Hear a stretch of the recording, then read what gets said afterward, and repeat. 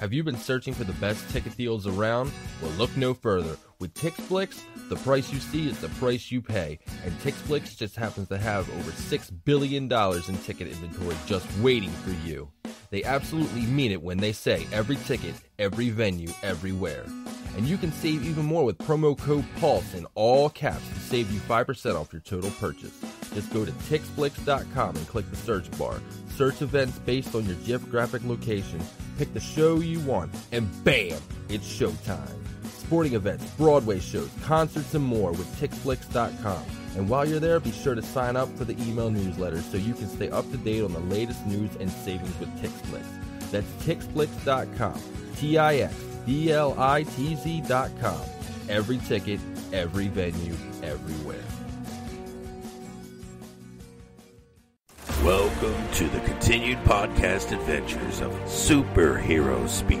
But I think many of the people that love this character and that love superheroes in general have used these stories as inspiration to say, you know what?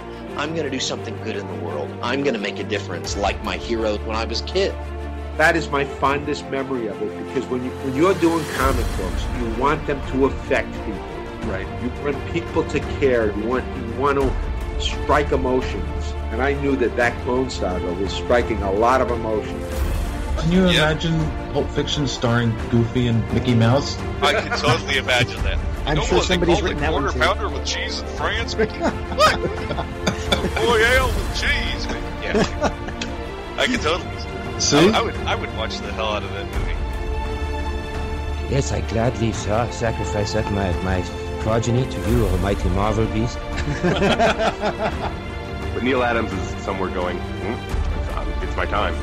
Uh, How do you measure success? Hey everyone, you're listening to Superhero Speak, and I'm your host Dave. And John. And JD. Oh, very somber, JD. Are, are you okay? Oh, I'm fine. Oh, okay, good. Um, I'm not a twat. no, no, apparently, but you know, you can't have everything. So, so since since you're not a twat, how was your week, JD? Oh, I was pretty good. I'm all right. Everything's fun on this end. Everything's I was fun. busy. Busy? I was Any- busy. Anything exciting? Anything you want to share? We have the uh this is week one of Nerd Madness. Oh yeah. So Yay. is that what you're fishing for? Otherwise I'm like striking out here. No, no, no, no. I mean, so I guess you were getting everything ready for that. You're you're Yeah. you're part of it. Okay. Yeah, yeah, I was I was doing my research, you know, making sure I had my my Sweet 16 and my regional drawn up. Uh, this will be uh, this will be interesting because I don't think Jade, uh, Jade, you are JD. I don't think I- John's ready at all. Ready for what? Ah, see, here we go. This is going to be I good. I knew it.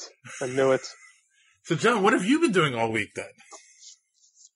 Apparently ignoring you, but that's kind of normal. Um, eh, not really. You know, um, caught caught up on all my anime, caught up on all the CW shows, only to find out that Arrow's getting canceled. That's It's not it's not canceled, it's ending. It's Well, right. Everyone knew yeah, it was I mean- ending. I mean, canceled ending. I mean, yeah, it's grace. It's it's uh, gracefully degrading. But but what was interesting is that they're only getting ten episodes next season. That was the big announcement.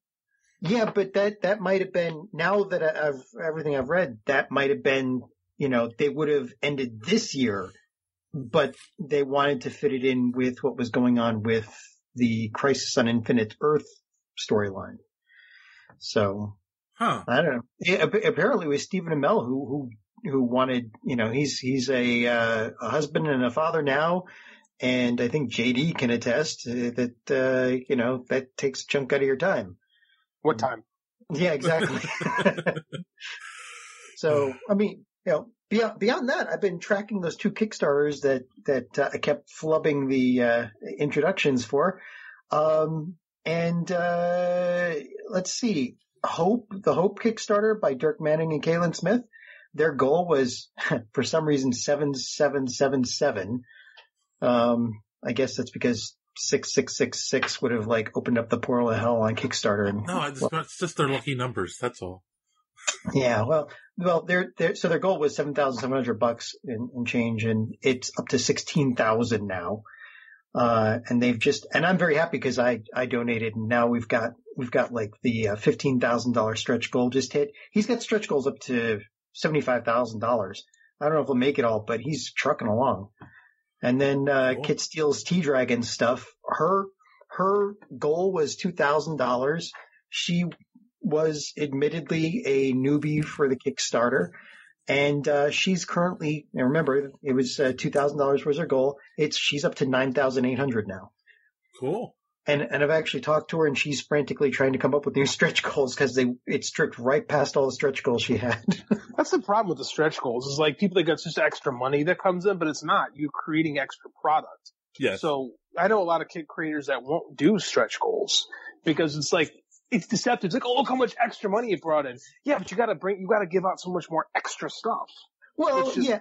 Yeah, yeah. The price. Yes and no. I mean, look at the stretch goals for, for Hope, and it's like the twelve thousand five hundred dollar stretch goal is uh, an exclusive book plate illustrated by Kaylin Smith with every hair. Okay, so that's a little bit of work for Kaylin Smith. She has to now do an uh, you know a, a painting and um Yeah. and make a, a book. But That's time. But Yeah. that's time. right, but the next stretch goal fifteen thousand is that they both sign it. Yeah, that was So- not quite so bad. yeah. Yeah. So Well, it, I it looks like they they it look, and I think Dirk did that on purpose though. I think he spread them out. You know, looking over these, it's like Look- one one requires the extra work that you're talking about, the next one is like, and we sign it or something like that. You know, Well, I think signing a thousand books in a timely fashion might give you a cramp. Just saying. or oh they're gonna sign a thousand book? That's what it is? Yeah, that's Well, fine, man. Well, however many they sell, right? I mean, yeah. the book plate in every one of those books. True. Yeah, that's that's the thing. that's time. Like I was talking to uh, my buddy Russell Nolte, and he's ran. Man, I can't tell you how many successful Kickstarters he's ran. And at the end of the day, when it comes to like the number crunch and stuff, he's just not making enough money. Like he does all right, but it's like with the with the volume, like we're talking like you know like tens of thousands of dollars. I think he might have hit a hundred grand on one. Like it just it, and what what winds up being in the pocket is just not enough because comics is such an expensive medium. yeah. You know. Yeah. Well, and when your stretch goals, like both both Kickstarters had stretch goals of foil covers when they reached a certain amount, and they both blew past those. So we're we're getting foil covers of Hope and this this uh, T Dragon um, book. So it's uh, it's pretty cool. I, I got it. We can do a Kickstarter, and our goals can all be dinner with John, just so we can finally get him a girlfriend. You you are are you trying to have people? You- You're you're they're going to be asking you to pay them money, ah, not to pledge. It's more I mean- appropriate for a GoFundMe than a Kickstarter. this is true. This is ah. very true. I was just thinking of a petition, maybe. Um, yeah. All right. Anyway, so uh, you know, just just fun. Wa- it's really fun watching those, and especially like somebody like Kit, who you know, a newbie, and, and seeing her or hearing her reaction is like, you know, she's aghast. Dirk Dirk is like, eh, I could do better. yeah. Fair to middling. So, uh, so I, uh, I've made a decision. I'm going to stop listening to certain podcasts. Didn't we talk about this last week? Yeah, I know. And I listened to them again and, and again, they had a news article on there. It was like, wait a minute, that sounds weird. And I heard this, but I thought it was a rumor and I looked it up and it's like, yeah, there's no confirmation on this really. The first step towards beating addiction is admitting you have a problem. I know, I know. I mean, okay, maybe you heard something different, but I looked on Variety and Wired. Um, so they want Idris Elba to replace Will Smith as Deadshot, but it's not confirmed. That's just Warner Brothers' top pick. Right? Has anyone heard anything different about that? Nope. No, no, they're they're pretty tight-lipped about that, I guess. Well, I mean, they said, "Oh yeah, it's a done deal. It's been confirmed." And I'm like, I looked, I scoured the internet looking for it to be confirmed, and it was like, no. All the articles said that it was Warner Brothers' top pick, but there was nothing about Idris Elba saying, "Yeah, I'm going to do the movie." So, oh well. Um, I saw the trailer for the new Idris Elba Rock Jason Statham movie. looks corny and silly, and I Can't wait to see it. Uh, Calvin and Hobbes. I mean Hobbes and uh, yeah, Hobbs and Shaw. Shaw. Yes. Fast and the Furious presents Hobbs and Shaw. It's going to be ridiculously stupid. Um, uh, speaking as somebody who has never watched any of the Fast and Furious movies, this one looks interesting to me. I agree. I don't like many of them, but I like The Rock. So, you know, should be fun. Yeah. Um, oh, the other preview I saw, uh, we haven't really talked about it is Brightburn. Oh, that Oh. was cool. I, I don't even know if I'll watch that. It sounds it it's just it looks the it it looks brutal. Did, I mean, did it creep you out too much, John? it did it creeped me out. Are you kidding me? Can you anybody who's anybody in comics has always thought, what if Superman really were just just freaking evil? And the answer is nobody survives. And Yeah. and and not even in a you know nobody goes quietly and nobody survives. We've seen it in comics a bunch. Like the evil Superman in comics is, is a trope. But in film, it's never been done. And this being a completely new property, one by James Gunn, I, I don't know what to I- expect. I would, I would, I would argue Superman 3, we got an evil Superman. That was more like an evil. That was like an evil director, evil writer.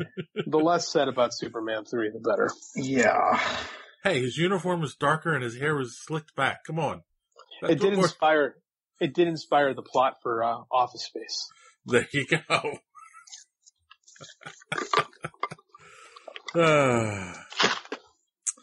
so yeah, um, yeah, I definitely need to stop. I need to find a, a podcast to replace it though in my, my repertoire. So if you, the listener, have a podcast you listen to that I might not be listening to, let me know because I want to, I want to find some new podcasts. Um, so, so let's talk a little social media madness here.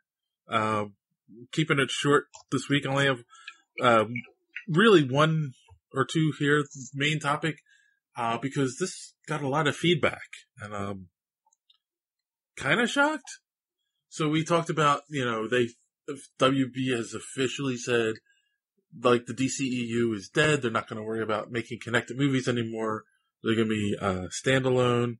Ugh. Um, and we got some feedback on this. Uh, I was kind of shocked that, uh, the, the first one was, uh, friend of the show, Rusty Gilligan.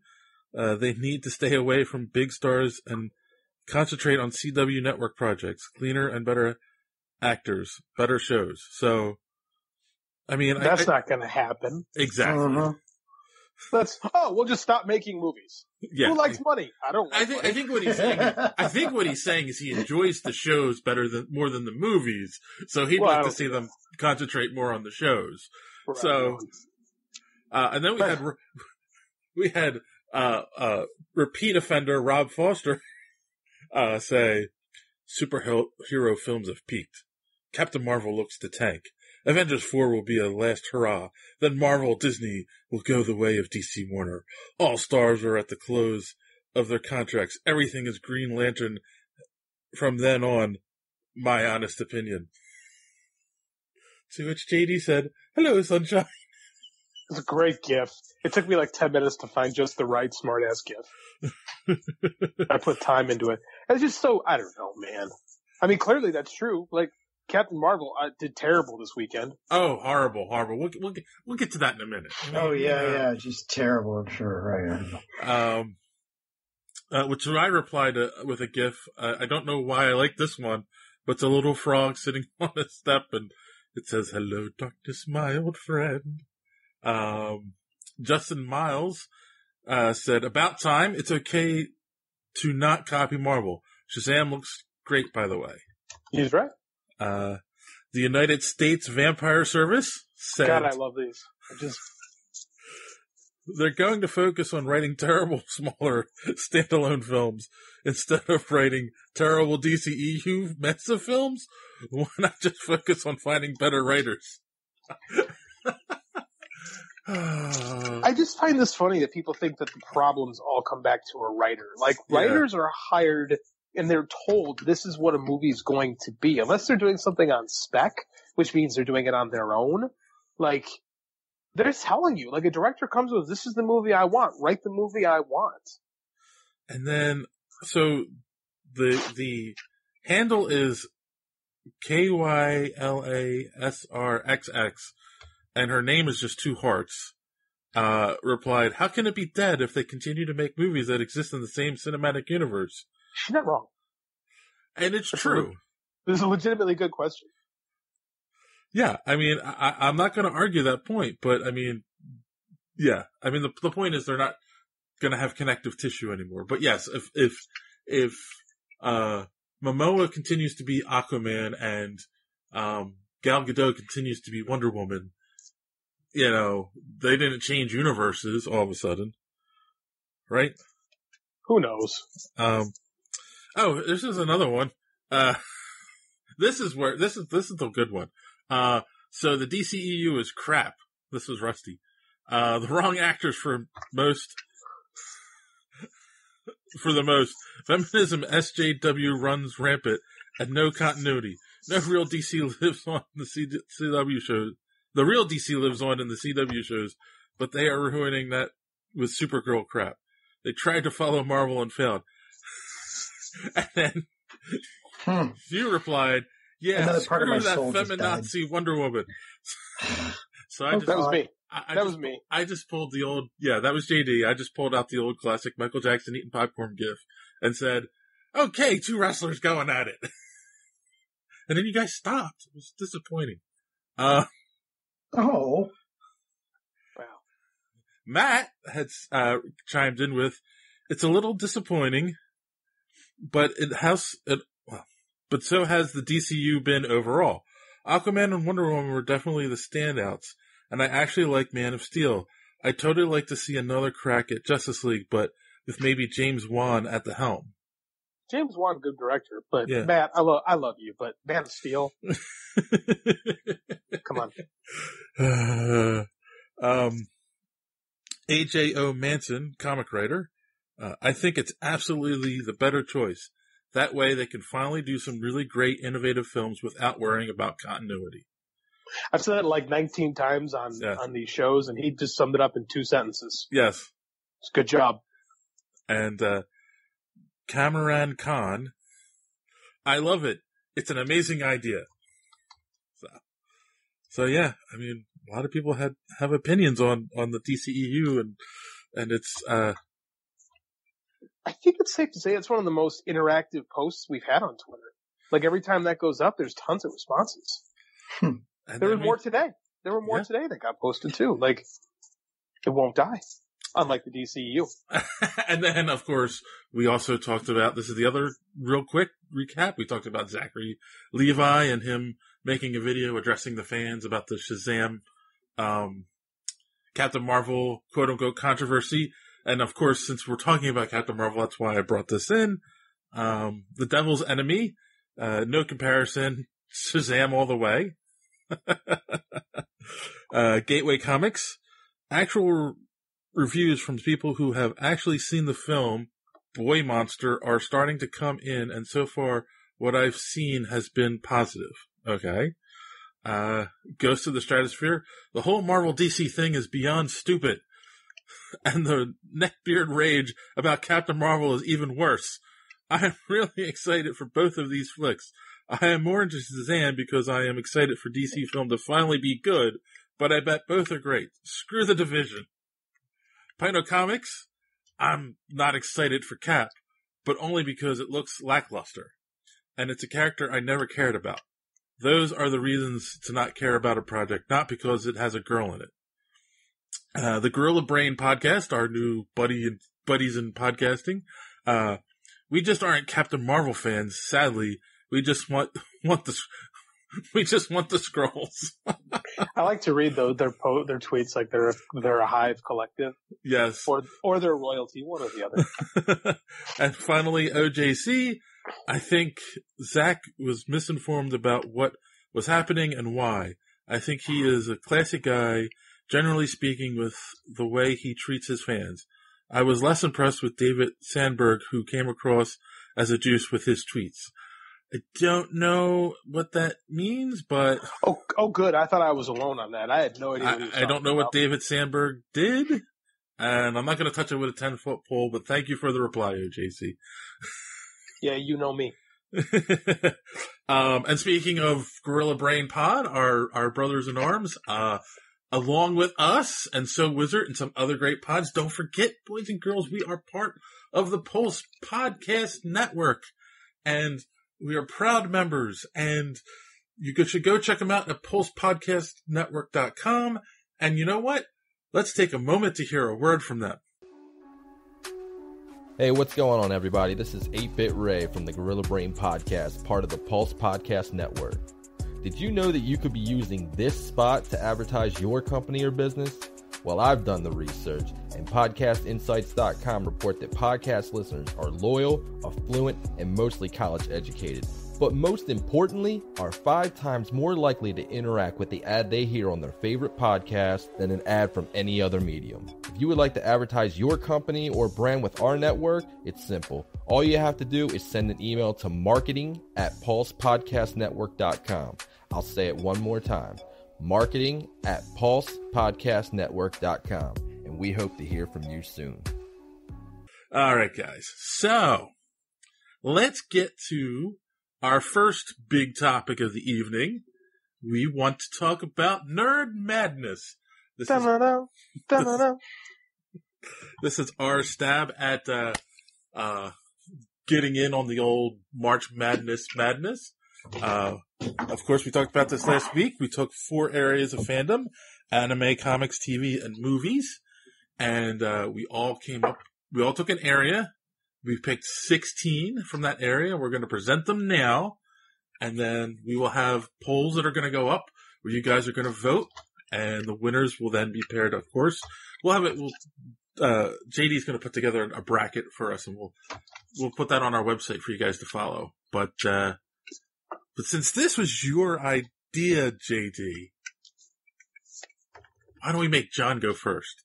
because I'm, there's no way. I'm not. Because John, John's still making his sweet six, his sixteen. I'll go first. I, I, I completely flubbed this. I did. so you had comics, JD. What did you yes. come up with? So we'll start at number sixteen. Um, I went in like I tried to focus.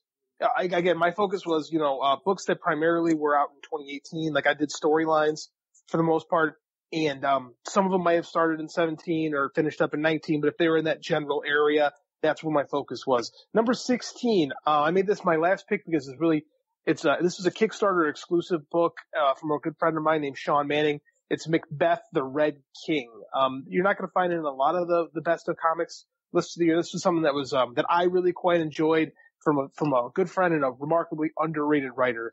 It was a, uh, a more of a historic look on Macbeth.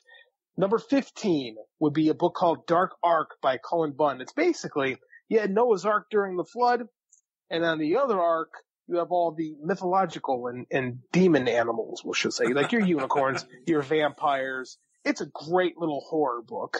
Like it's it's really really cool. It's from Aftershock Comics. If you're not reading it, get into it. My number 14 seed was The Dreaming, which was a sequel to The Sandman, written by a, really good British writer named Si Spurrier. Um, creepy in some spots, really cool in others. Like I think it, it, it it was the right guy and the right choice to to continue Neil Gaiman's um, seminal work. I picked a uh, number thirteen. I picked a book called Infidel, which was kind of a horror um, horror book in the in the vein of of uh, excuse me of Islam. Um, the less I say about this book, the better. Oh, just no. read just read it. It's really really cool. Number twelve, I went X Men Red which was a great return to the X-Men universe Mhm. this year. I was late. I read this this weekend. I read this one. I really liked it because I was putting my list together and I realized, boy, I didn't have enough for 16. So I, I opened up and I, I busted out the old Comixology Unlimited app and I was downloading stuff. So, uh, check this out. Nice return to form for Jean Grey, just in time for that movie. They're going to kill her. Number 11, Snagglepuss exit stage left. We talked about this quite a bit on the Yes. show. It was well worth the read. Um, it's basically Snagglepuss's Truman Capote. I highly recommend everyone read it. Number 10, a little bit of a, of a curveball. Claus, Claus and the Crying Snowman from Grant Morrison, my favorite writer of all time, uh, continues his look of, of Santa Claus. If I could boil it down, it's basically Santa Claus as Conan the Barbarian early in his career. Read it. Number nine, The Immortal Hulk. I'm gonna start, I'm taking up a lot of time, so I'll just rip through these last couple. Number eight, we did, I chose Venom by Donny Cates. We have covered a little bit some of the controversies going on, but Donny Cates is doing some really cool stuff with the Venom character, breathing new life into a character that quite honestly, quite honestly, I felt was stale. Like when they announced Mm-hmm. that Flash Thompson was no longer going to be Venom, they were going to go back to Eddie Brock. I was skeptical. I said, I'm not interested in this. I was wrong. Venom has been a great read. Number seven, I kind of did the all-encompassing Black Panther books that came out in the wake of the movie. Ta-Nehisi Coates' specific version of the character. Um, great book. A lot of political leanings into it. The perfect guy to write that story. Highly recommend this past year's Black Panther run. Number six, Dark Nights Metal. Scott Okay. Snyder's most insane book yet. I was It wondering was- when you were going to get to metal. yes, number it was my number six choice. Um, I don't. It's you know I'm actually a little behind. I haven't finished it yet. It's it's, it's I'm I'm backloaded on it, but I really really like what I've read so far of it. Scott Snyder had a fantastic run on Batman earlier this decade, and I think this is a nice little swan song for him to the character. It's nuts.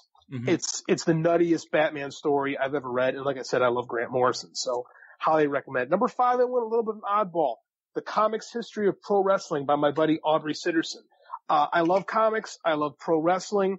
Aubrey does the unenviable task of telling the story of the history of a business that I love in comic form. Uh, Chris Moreno is the artist on it. And it's, if you, if you like comics and you love wrestling or you love wrestling and like comics, you're going to love this book. If you have no background whatsoever in pro wrestling, this is the best way to learn about why this business is awesome. And it is a business. Aubrey did a fantastic job on this. Number four, I went with Tom King's Batman. Like it's been going on since 2016. In 2018, we kind of had the culmination of the the wedding storyline or the lack of Yeah. wedding storyline between Bruce Wayne and Selina Kyle. Um, Tom King's a great writer. Like, and this is a lot of he does somber really really well. And I think this is a this is going to be a Batman story that kind of stands the test of time a little bit. Number three, I went with Chip Zdarsky's Peter Parker, the Spectacular Spider-Man. Uh, this again another book that kind of started getting steam in 2017 really picked it up in this past year. I'm a big Dan Slott fan. I know that's a, that's a, that's a, that's a point of discussion on this show between me and Dave, but I like Dan Slott's run on Spider-Man. But that being said, when I first read Chip Zdarsky's version of Peter Parker, I felt like it was a breath of fresh air. He writes him differently. He's really, really funny. And, um, I really like the stories he did. I think that this book, I mean, I'm actually a bigger fan of, of this book now that, uh, that Slott's left Amazing Spider-Man. I think that Spectacular Spider-Man is the superior title, not to be accused of the superior Spider-Man. Number two, Brian Bendis's uh, still burgeoning run on Superman. Um, Brian Bendis does Brian Bendis things. He's coming in and uh, doing the closest thing I could compare this to for older fans would be when John Byrne came in and put his stamp on the character. Yeah. I like I like where it's going so far. Brian Bendis is one of the best character writers in comics. Like I think he does character moments better than any other writer in the medium today, especially working in primarily in superhero books. And I think that sometimes it's very easy to lose the character of Superman. And Bendis has been great at this his whole career, really getting to characters. And yeah, you get the Bendis speak and stuff like that, but I mean, it's, it's his thing. It's what he does. And I like that we get, you know, Clark and Lois back as they're feeling like people again. They're not just characters in a big overarching sweeping epic story. Like they feel like people to me. I mean, that, that's such a thing in the industry that like that's a term I hear all the time. Bendis speak. you know? It is. It- It's that rap, that rapid fire dialogue where you got the overlapping word balloons. It has the pace of conversation. It's, it's supposed to simulate the pace of conversation, but it's really like watching an episode of the Gilmore Girls. But that's, it is. That's how he writes, but it's cool. Like I, I like, I really like his writing. Um, and I, I like what he's done with Superman so far, man. It's been, it's been great. I really want to see where it's going. And my number one, my number one seed in the comics regional is Tom King and Mitch Gerad's Mr. Miracle. This book Huh. is Really? different. It's awesome. Um, Tom King, I think, is the best writer in comics going right now. I'm not, I'm not crazy on Heroes in Crisis, so I didn't make my list. Maybe when the story's done, I'll have different feelings on it. But Mr. Miracle, has really done something unique in comics. Tom King does this, like you have the Bendis speak we just talked about. Tom King has this, um, has this style of writing where it's almost dreamlike in some ways in the way he, he, he writes his dialogue. A lot of Mr. Miracle, the first couple issues are kind of hard to follow, but there's a genius to it. And it really is a book that's, it's, he takes superheroes and it's really a book about depression and relationships and it's wrapped in this crazy Darkseid story. Um, if you enjoyed Tom King's run on the Vision that he did a couple years ago, and you've read Sheriff of Babylon, and you like Batman, in my humble opinion, Mr. Miracle was the best thing in comics last year. So that is my number one seed.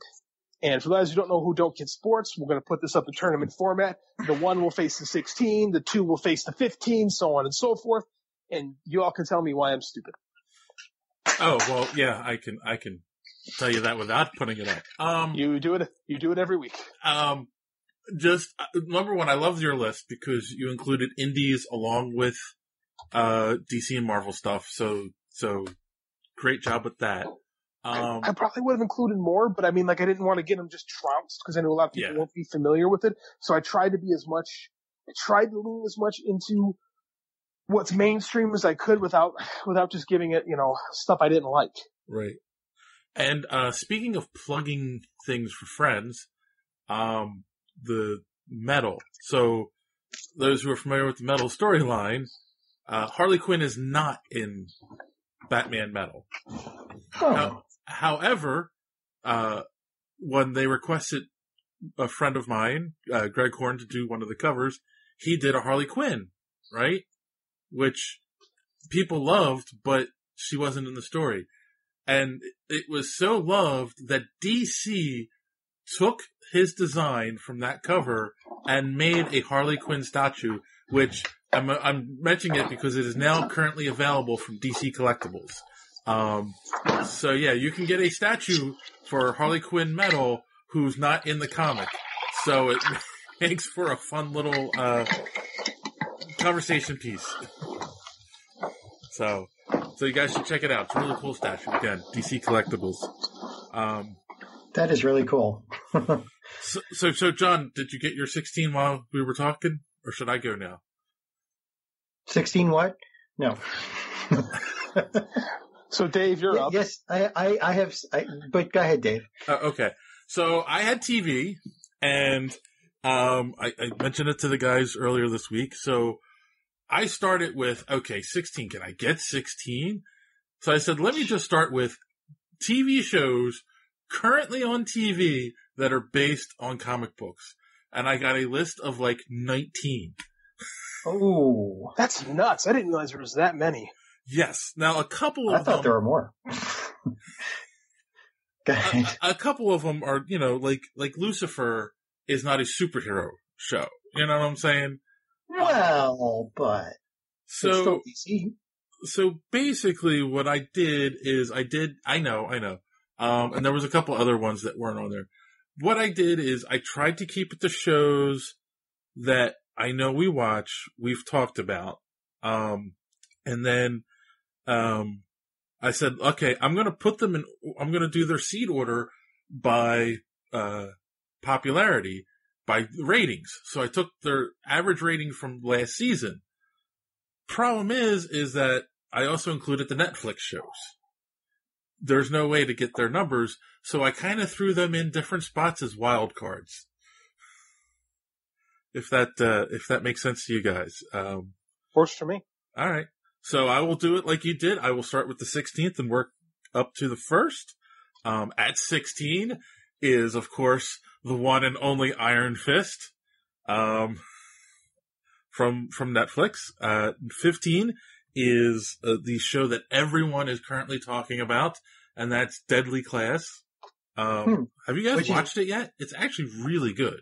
It, we talked it, about it, never did it. yeah, I've, I've been watching it, and it's disturbing. I mean, the writing is just that good that it's disturbing, and you still want to see it. Yeah. Um, Oh, 14 no. See, damn it. I forgot I left this one here, but it's too late. The list is done. I'm not going to change it. Uh, 14 is American Gods, um, which is based on obviously the, the comic of the same name. Uh, 13 is Preacher. Uh, 12 is The Punisher. 11 is Black Lightning. 10 is Arrow. So, as you noticed, uh, 10 is, you know, if, if I'm doing this in reverse order, it's pretty low. I was shocked when I saw what, what Arrow and Black Lightning's ratings were, but we'll get into that later. Uh, number 9, Legends of Tomorrow. 8, Supergirl. 7, Flash. 6, Luke Cage. And then 5, Agents of S.H.I.E.L.D. 4 is Gotham. 3 is Gifted. 2, I had to make Daredevil because he's my all-time favorite, uh, TV show. And can you guys guess what the number one show on TV based on a comic book is? Uh, flat? No. What? Hmm. I'll give you a hint. I, I It's got been the number one comic book show for a long time. Oh no, not super freaking natural. No, That's Yeah. it's not based on a comic book. Oh, I didn't know. I thought it. I thought it might have been. You owe me a root beer. um, no, The Walking Dead Oh, seriously. still has amazing ratings. So, so there you go. There are my 16. So, we shall see how Iron Fist does against The Walking Dead. Uh,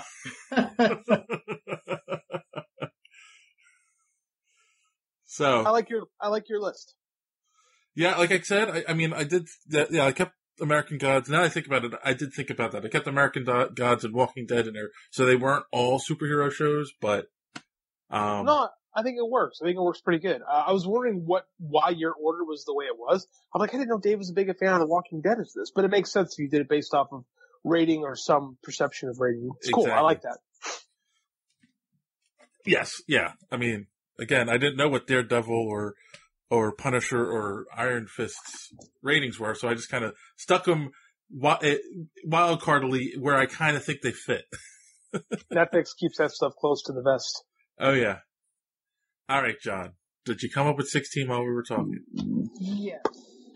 And I I am realizing that A, I watch a hell of a lot more anime than I thought. And B, there is no human way possible to have covered all of the genres and all of the anime that has come out in the last like e- even two years, let alone last five. Well, too late. You have no choice. Do it. Fine, fine. So, so, all right. So going backwards. Uh, let's see here. I guess I will start with Hinamatsuri. What happens when a uh, android comes goes back in time and uh, appears in a mobster's uh, home and and becomes the mobster's kid? Uh, JoJo's Bizarre Adventure Golden Wind, just because literally everything in anime these days is a JoJo's reference. Um, and Jo- and JoJo's has probably been is is one of the longest running uh, mangas ever. Uh, it's been around since the 70s, I think, 80s at the at the very least. So, uh, Sword Art Online, uh. Uh, that's because uh, everybody hates it, it, you. You are only one of two people. You either hate Sword Art Online or you love Sword Art Online. So that's in there for basically the people who will vote for it because they love it and vote for it because they hate it. um, the Ancient Magus's Bride, which is a really interesting one. Uh, it's kind of uh, a bad guy uh, manga or anime about you know uh, a woman who's sold as a slave to the Magus, who's basically the skull head guy. Um, I, you know, I- I'm, I'm also realizing trying to explain these. I mean, to people who don't watch anime is like almost impossible. uh, and and and uh, I'll, I'll go on. Sword Art Online Alternative, Gun Gale Online, which was actually much better than Sword Art Online because it didn't have Kirito in it. Um, and and there there weren't any overpowered OP people just walking around just beating everybody. Um, this next one, I'm, I'm, I'm just, I'm not going to explain it.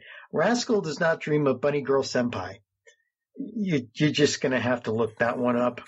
Um, that's that's not a shonen or a tournament or anything like that. That's actually just a really nice love story. Um, sort of. Uh, as far as anime goes, My Hero Academia season three because it is killing it. It's been doing very well. Um, and that's basically just how people become heroes.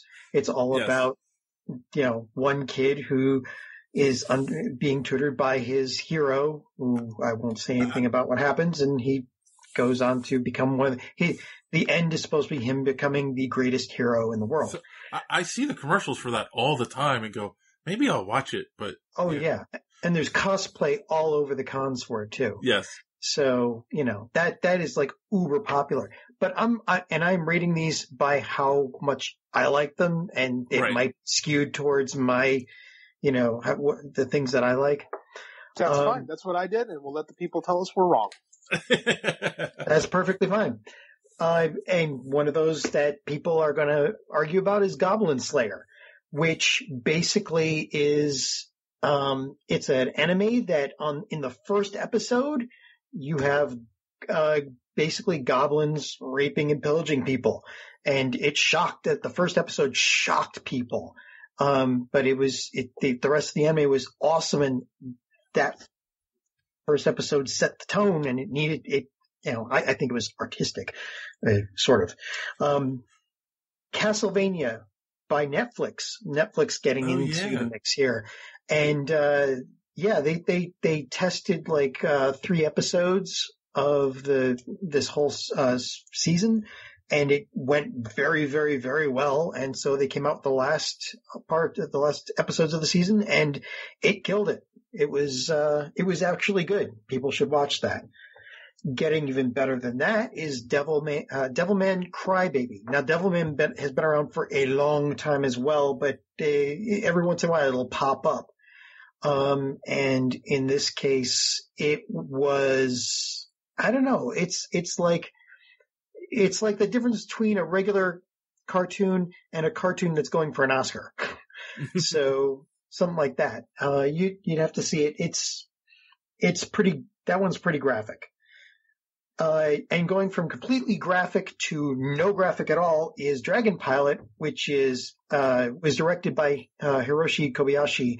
And it is just, it's, it's one of those animes like, okay, you know, I, I've, I've watched the bad guy trounce everybody. I've watched people's heads getting ripped off and, you know, and, and, and eating entrails.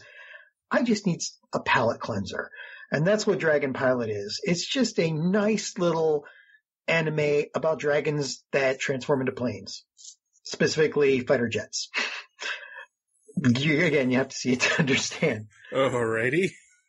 And then going back the other way to Overlord 3, what if, what if, uh, in an anime you followed the bad guy and he was really bad, not like ironically bad, not, um, not, not, uh, you, you, he's bad, but you want to root for him, but just like, oh my God, can the heroes just finally run fast enough to get away from this guy? Um, Overlord is just, it's, it's, it's an isekai, but it's an isekai, basically other world, where a guy gets dropped into another world, uh, and becomes basically the most evil bastard on the face of the planet. And when I say evil, I mean like just killing people left and right using them. And it's, it's, it's, but it's very well done. Going, uh, let's see. Next one on my list is Mob Psycho 100. Now, Mob Psycho is written by a artist named One. That's his name. He also did, uh, he also did One Punch Man. And the, there's a, there's a kind of parody between the two, uh, the way he writes. It's an misunderstood character who, uh, is kind of out of regular society, but is so OP, no, and, and nobody, nobody realizes just how overpowered the guy is.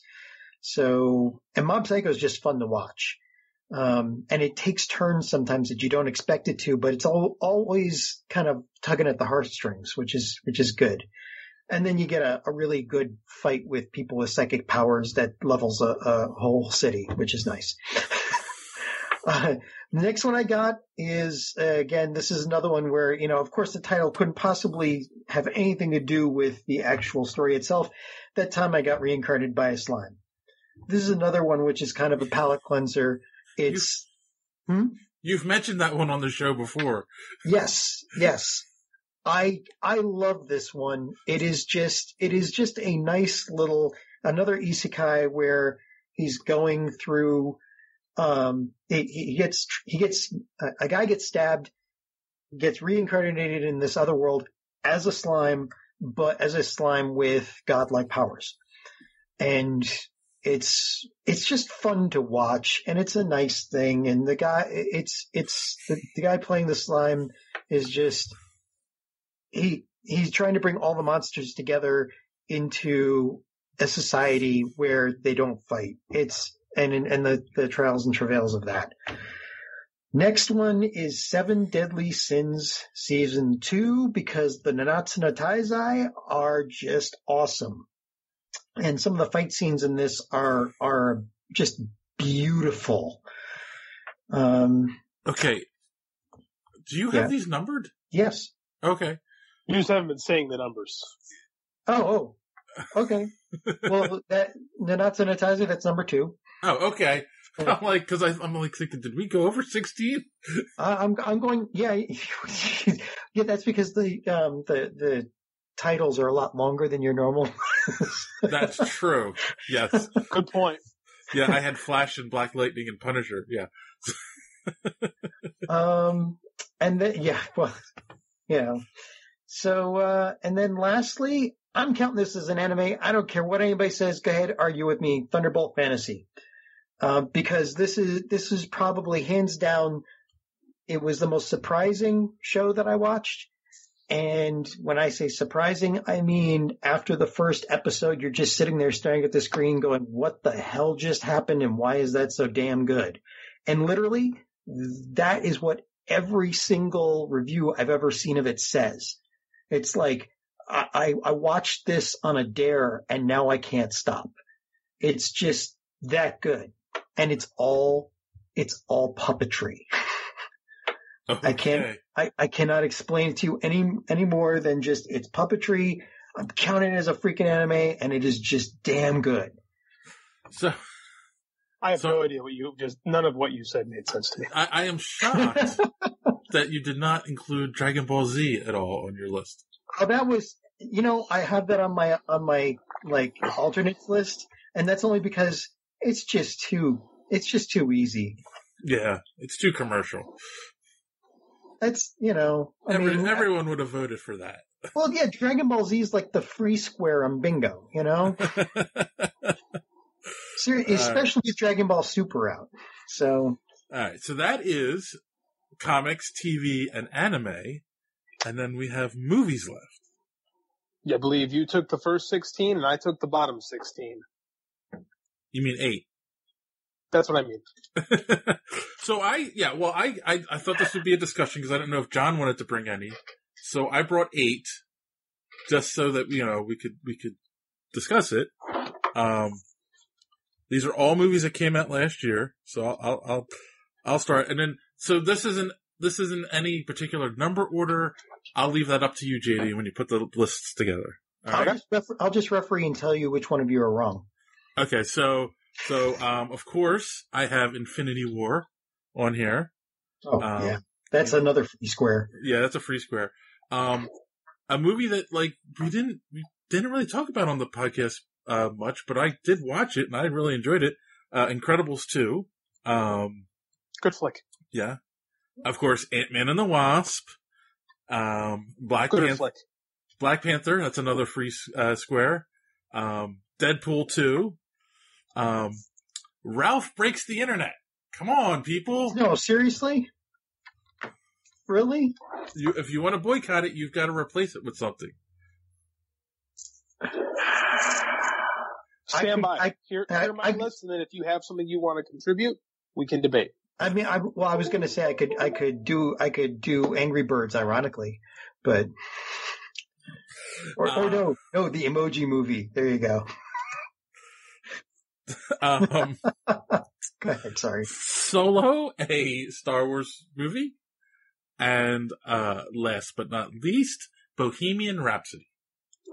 Um, and I included Bohemian Rhapsody because those who saw the movie, I think, would understand where, uh, in the movie, uh, Freddie Mercury, played by uh, Rami Malek, talks about how Queen saw themselves as the outsiders, the rejects of society, playing to the other rejects of society. So, you know, I think that fits with our nerd theme. All right. Can can't argue. Can't argue it. All right, I got my list. Um, again, the first one. I'm not. This might be not being number one. I don't know what you're saying, but uh, Spider Verse. Okay. Yes. I, knew you Yes. were, Prob- I knew you were going to have that. That's why I didn't include it. probably my favorite film of 2018. Uh, Mission Impossible Fallout number two. oh, that was a good one. Yeah. It was a good one. I liked it a lot. And I'm not a huge Mission Impossible fan, but that one really worked for me. And it was the Uh, mustache that d- destroyed uh, Justice League. It was the mustache that really killed the DCEU. it really was. Paramount has had a rough year, but they can say they killed the franchise. yes. I got a little different number three. I went, uh, I'm a big horror movie fan, as you guys know. A Quiet Place, the John Krasinski horror film. Ah. Ooh, okay. I refollowed it up with Hereditary, another uh, small budget horror film that was just awesome. So I highly recommend that one. I've heard Uh, really num- good things about that one. It's really good. Number five, I went Aquaman. Mhm. And then, uh, number six, Call Me a Wuss. I really liked Christopher Robin. Oh. Oh. I love Winnie the Pooh. I got a little boy starting to get me on that stuff. I- uh, I haven't seen that one yet, but I do want to see it. tearjerker. Yeah. Tearjerker. I got back to my roots. Number seven, I went with a Netflix exclusive movie, Black Mirror, Bandersnatch. Okay. That's another one I've heard weird things about. Very, very weird, but awesome. And then number eight, uh, I got a degree in documentary filmmaking, so I picked my favorite documentary of the year. This will be a 16 seed. Won't You Be My Neighbor? The Mr. the Mr. Rogers Ah, documentary Okay. about what a phenomenal human being he was. All right, That- John. This is that- your opportunity. Okay. Uh, no, I was I was going to say the Mister Rogers one. I forgot about that. That's like everybody should see that. Actually, Yeah. It's that good. yeah. So uh, what, what do you want me to do? I could. I mean. I mean. The, Do you want to? Do you criteria- want to add any? Do you want to boycott any? well, you the cri- dispute. This is the play-in game, as we call it in the NCAA tournament. This is the play-in game. Which movie do you have that you would like to challenge for a spot on the movie list? Uh, let's see. And you you you had these in the um. This is in the email too, right? Yes. So Mine's mine's not. I, I put mine Ah. together before sending an email. Dave did. Or yeah. I don't. You know. You, you I- seem like you wanted to challenge Ralph breaks the internet. yeah, yeah. But you know what? I'd I'd challenge it with How to Train Your Dragon three. I knew it. Oh, seconded. All right. Then I will concede, and we'll replace Ralph with uh, How to Train Your Dragon three. I'm done. Goodbye. On that- you On can't leave yet. By the so by the time by the time you hear this podcast, we will have the 64 man bracket released, and we will release. Uh, my thought is to do one regional every two days until the next show, Okay. and then we'll uh, we can go on and talk about the results next. week. Yes, and, and the plan is to release the final results on our 300th episode. So, Believe it or not, that was a coincidence. That worked out quite nicely. yes. Hmm. All right. So now, now we got that craziness out of the way. Let us get to the main topic of the evening. An hour into the podcast. Yeah, yeah. That's fine, man. We'll get a little bit longer this week. Um, but people are gonna people are gonna want to hear hear this. Um, of course, we're gonna talk about uh the one and only Captain Marvelous. Uh, I'm outraged. I am. It is better. it, darling, darling, it is better to to look good than to feel good, and you look marvelous. Um, What? Oh God, that's old SNL. You don't know uh, uh, Fernando from Saturday Night Live? Billy Crystal? You're pulling it there, man. You're pulling it from way back. Oh, I can't believe you don't know that reference. I'm a, lot, I'm a lot, a lot younger than you guys. Uh, I think you're playing dumb so you can look cooler. Um, Looking so- cool this show is not an option. All right, so we're going to start like we always do, real quick. We're going to go by the numbers. Uh, the box off opening box office for the weekend it made 153 million domestically, uh, 302 million uh, overseas for a total of 455 million on its opening weekend. So, uh, suffice it to say that it was a success, and uh, we will probably get a Captain Marvel too. Um, uh, as of when I made this email, because the scores keep changing, uh, the Rotten Tomatoes critic score was 80%. The audience score was 58%. And last but not least, we asked our audience, we did a poll today. Um, what did you think of Captain Marvel? Let us know. We'll discuss the results on the next Superhero Speak. I gave them four options. Uh, one of the best in the MCU was the first answer. It was okay, I guess, is the second answer. Um, it was terrible. And who? Question mark. Bring on Shazam. Oh my gosh.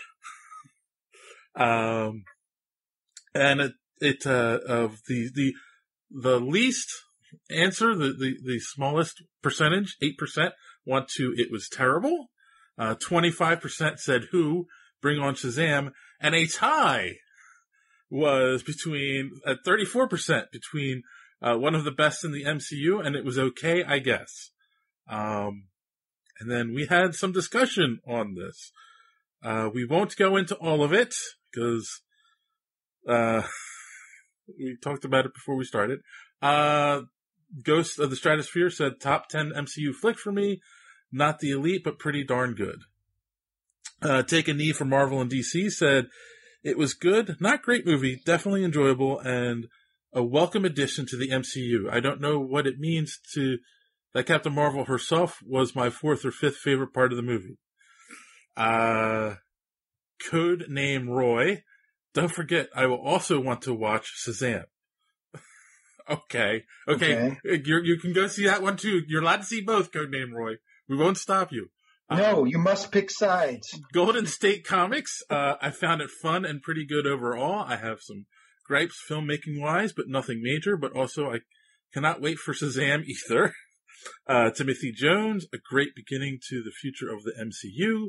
Marvel was a lot of fun. If anyone, a movie was a lot of fun. If anyone can take on Thanos, it's her. Mid and end credit scenes are vital. Um, listener Skiznot said it was solid.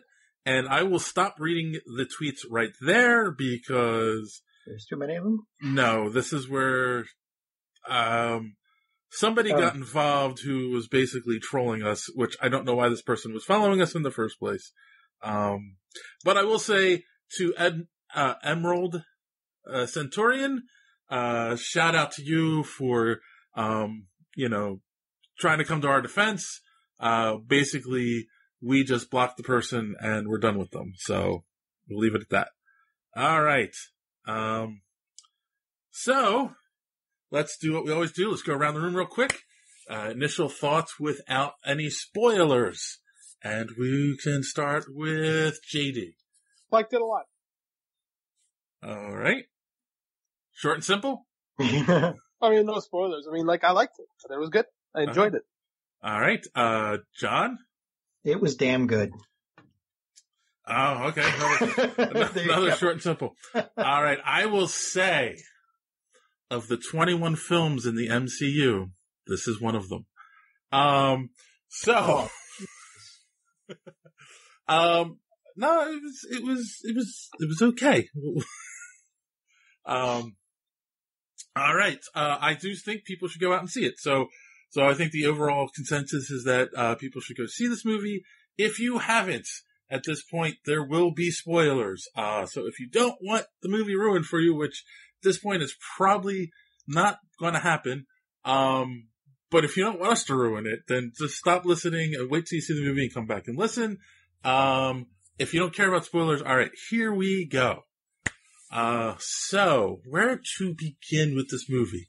Um, I just want to, I'm going to start off with like, there was a lot of trolls, we'll, we'll call them out there who basically were hating this movie without seeing it. And it basically based on comments made by, uh, the lead actress that, that they didn't agree with. And I think that's a stupid, we've, we've talked about this on the show already. That's a stupid reason to not like a movie and, and attack it. Um, and This is the movie that finally broke Rotten Tomatoes with the um, pre. Was it the, the the pre-viewing or whatever the that was the, that was the mouse stepping in. Let's be honest. Um, but well, yeah, but that's what it took, you know. Um, but, uh, um, as, as you like to say all the time on the show, John, about the four quadrants, uh, Disney is the master of the four quadrants. And I knew that even if there was a little bit of yay girl power in it, it was not going to be overwhelming, uh, in this movie. And it wasn't. Like, nope. let's be honest. If you are, if you are sitting there seething right now, oh, Captain Marvel sucks because it's a it's a it's a a, a feminist movement movie, you're an idiot. Go watch mm. the movie. There's yes, there are yay girl power moments in it, but that is not what the movie's about. So they're the same. They're the same moments that every hero has, basically. You know. I think there's more feminism type moments in Wonder Woman than in this one. Yes. Yeah. Yep. Um, I, I'll also say that I think all of the actors in this movie were really good. I think the visuals are um, well done, uh, but I didn't like the script. I'm going to be completely honest. I had issues with this, with the script of this movie, with the story, and uh, it was just like. And, and, let me explain that, right? And and and you guys can and, uh, rebut to this. Um, like I understand um, they took, they tweaked her origin story slightly, right? But the problem is, is it felt rushed and shoehorned in specifically so that they could have, uh, Captain Marvel in Endgame. And that was the only thing. Like, I feel like she could have had a much better movie if they took their time with it. And I felt let down by it. What do you guys think of that? I've never disagreed with anything you said more. Mm, I'm, Okay. I'm I'm right there with you, JD. Okay, so so so okay, I so I didn't, I didn't feel, I didn't feel anything rushed. I really didn't. I didn't, I, it seemed to me like this was a plan for, it's not like they made Endgame go, dude, we gotta get Captain Marvel in. Like, they don't rush movies. They've been planning on doing this stuff for a while. You okay, know? but I just I don't feel like I don't feel like she had a a story an, an arc in this. Like there, like you look at Iron Man, the first Iron Man movie, and you look at the the the character arc that Tony goes through from the beginning of that movie by the time he says I am Iron Man at the end. And even Captain America and Doctor Strange, like there are strong character movies. I kind of feel like a bunch of stuff just happens to Carol Danvers. I don't see that. Me neither. Okay. I mean, I mean, I let let me because I, I will tell you that my own my only gripe with the movie, and it's not really a gripe; it's more like a you know purposeful suggestion, is that um at the end they did play up the her you know getting up after being knocked down and finally going full power and all that, and I feel like they might have been missing a scene or two that would have made that perfect. Exactly. But but but but there it was no connective tissue for No. that to the rest of the movie. It But there not. was there was some connective tissue, but I feel like they could have made. But that but the but rest of the movie like was just it's not like it's not like Captain Marvel was struggling throughout the movie, and then that was her moment where she finally like was was got up and like got past all her struggles. Like she wasn't struggling i- i- i- in in what was happening to her in that movie. Like there was struggles in the flashbacks, but they weren't connected to what was going on currently in the story. Disagree. Um, the Yeah. struggles she has is not knowing what she is. The struggle of Captain Marvel isn't the isn't the same kind of character arc that that uh, we've seen from the earlier, specifically the earlier MCU movies. The character arc in this one is believing you're something and finding out everything you believe in is a lie. It's a different kind of movie. It's a different kind of story. That is that is her struggle. It's not. This is why I think a lot of people assumed it was going to be like this whole girl power. You don't think I can do it kind of thing, and there is a little bit of that, but they don't beat it over your head because the most it's, it's not a female dominated movie, but there's a lot of females that play major roles in it. Like I think that the arc in this movie is more. I don't know who I am, and I have all these great things. I don't really know what they do. I don't know what I am. Like I can do all these things, but what am I? And I think the story of this movie is really about challenging a perception. And it's not so much of a I need to get up story. It's a great moment in the movie, but it's it's the crux of it is the crux of that scene isn't I have to get up because everyone's been holding me down. The crux of that scene is I have to get up because I finally figured out who I am. Which in in that case, it was her realizing that part part of the reason why they'd been telling her all along to control your emotions and and you know don't use your power as much as she could was I think you get the feeling that they were hiding from her the fact that well, she was so powerful she could basically wipe them all out. So, right. So so and then so here's something else and this I don't think this is nitpicking where I feel people might say that is. It was, is. Oh, sorry. Go ahead. what, what was she an idiot? Does she continue to get hit in the head with a coconut? Why on earth did she never question how come I'm the only one who has powers? Because why they've would... been telling her all along that that they gave them to her. Right, but right. why didn't it like you're fighting a war and these powers would help if everyone had them, you know, or at least a band of soldiers had them. Why because is she the only one in 6 years? Why is okay? Why well, yeah, but Okay. Why does Jude Law also look like a human, and she right. does too? But, Why are, yeah. Like, there's a lot of questions that because could, that that that is all canon in the comic book. There are white Kree and there are blue Kree. That's that's, that's never, all in the comic that's book. Never, but that's not in the movie. But I'll that's, but I can look past that. Like that that doesn't need to be explained. that does need to be explained. Everyone else is blue but it is with the exception question. of those okay, two. But then why doesn't she question that? Because it doesn't make doesn't matter. Do you know it's brainwashed? She's brainwashed. Yes, yeah, and that's the thing she's only got what five years of memories to work off of, right. so she doesn't. That's, she doesn't. She didn't have the experience again to question it like you would after you know not having your brain washed. And she's a soldier. Soldiers are taught like as part of yes. being a soldier, you don't question authority, mm-hmm. which is leads to the thing of questioning authority. That's however, that's a common trope in a movie, in a soldier However, story. again, connective tissue where they show her in her in the, in the flashbacks um, uh, going against the grain and she's a different person doing it.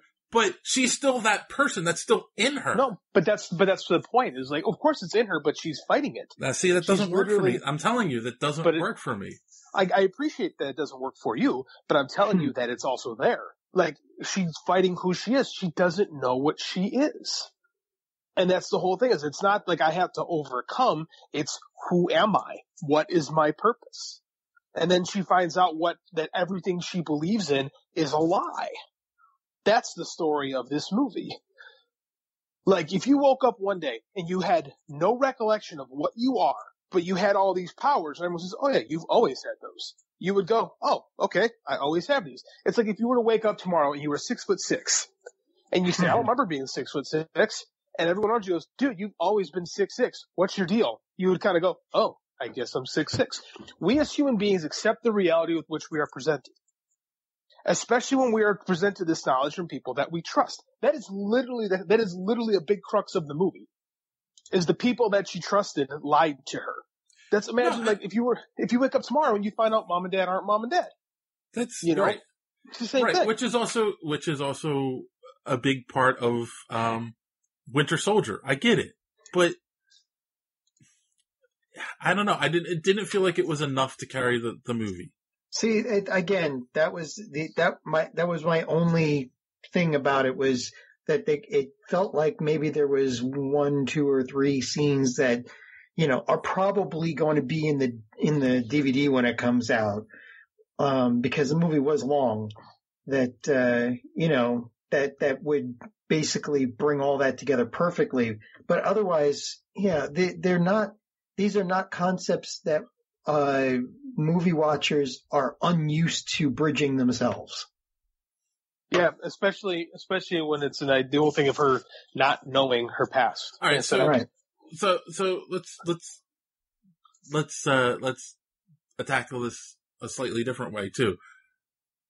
What was your? Let's start with JD. What was your Yeah. favorite thing in the movie? Favorite? My favorite, my favorite thing in the movie is the interaction between Fury and her.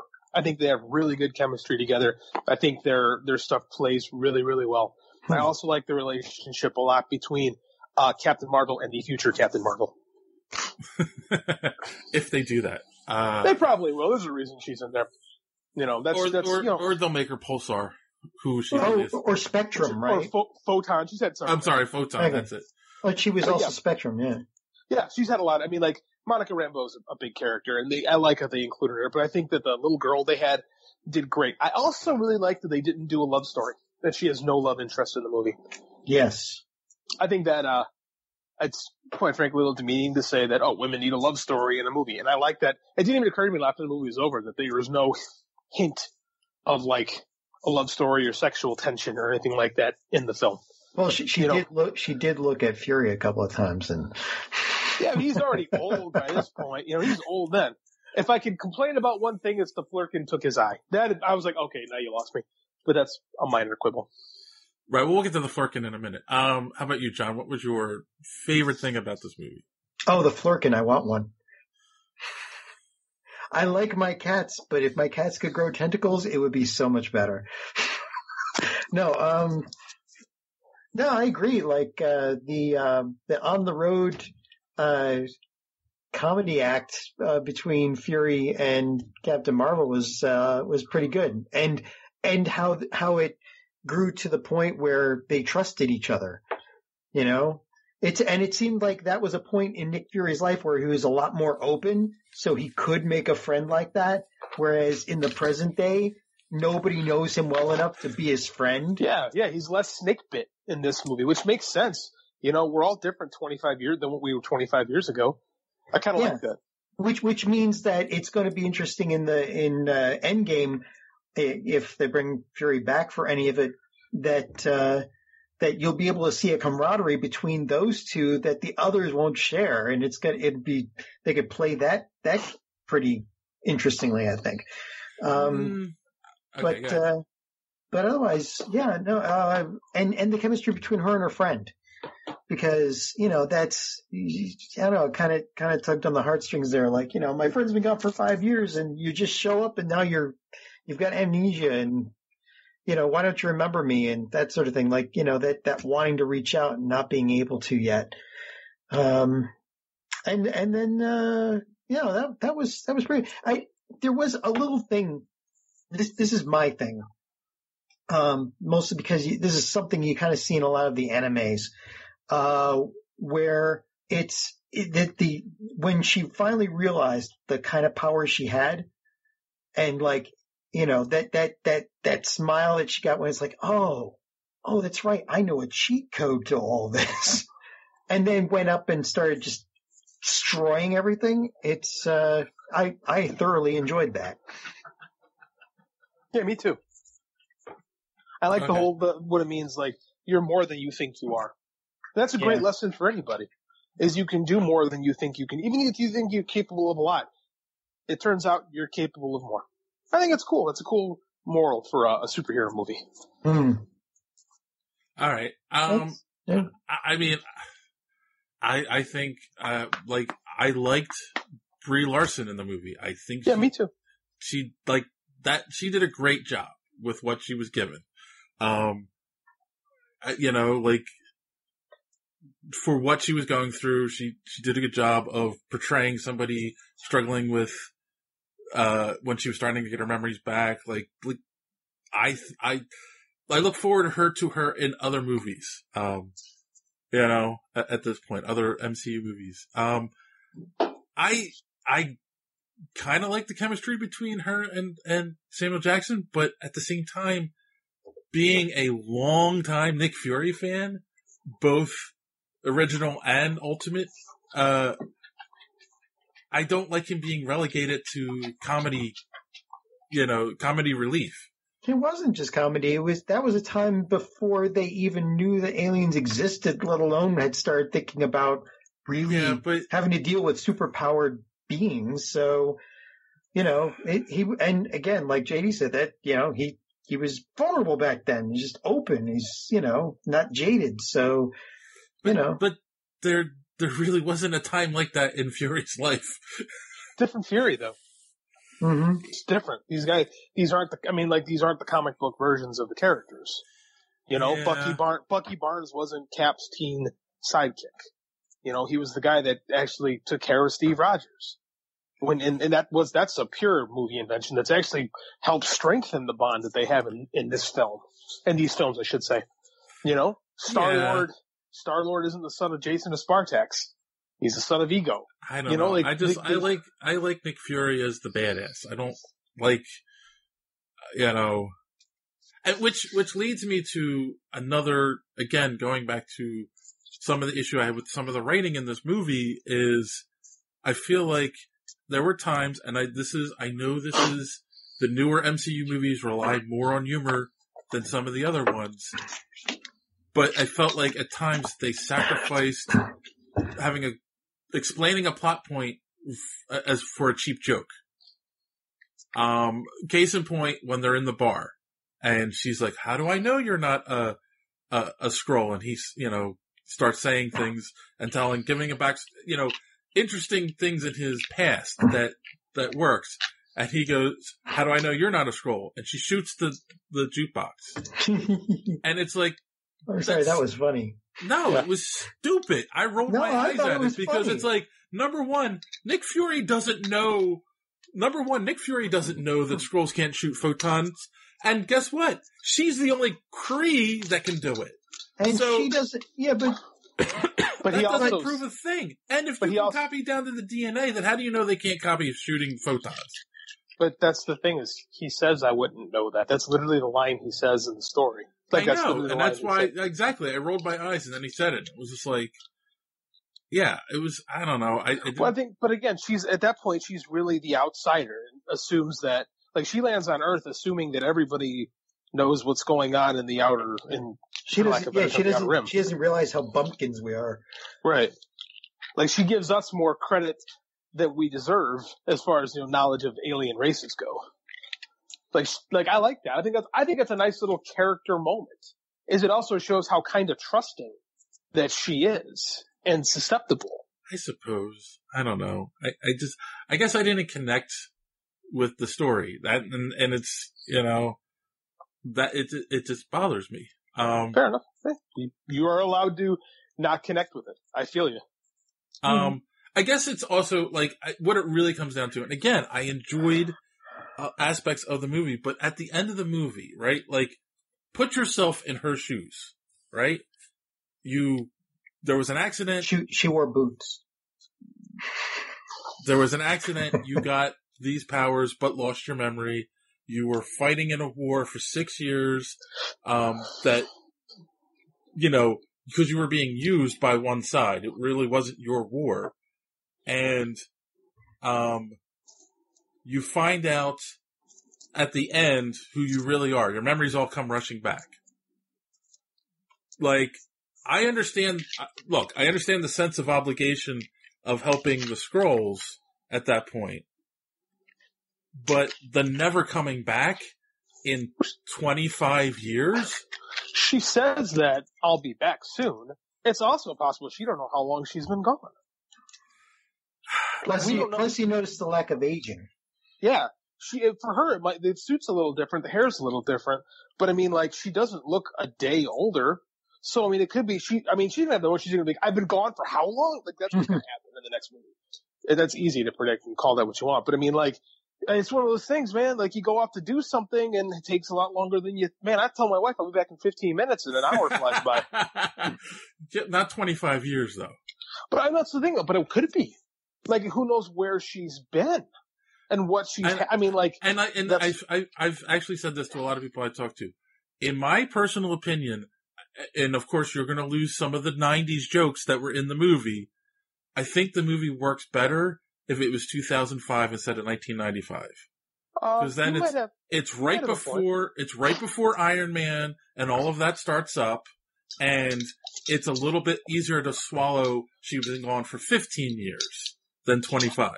I don't know. I mean, it's hard for me to make that call until I see what they do. If if Endgame there winds up being giant holes, then I'll I'll agree with that. But I mean, like they rarely misfire in these movies, and I think there's a reason that they chose the, The 1990s. I mean, and we don't entirely know what that is yet, and that's fine.